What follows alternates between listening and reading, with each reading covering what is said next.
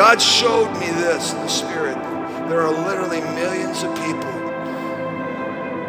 millions of people who are ready to shift the gravitational pull in a different direction. I believe those are the harvest of the revival. I believe that there's 30 to 40 million people in the United States.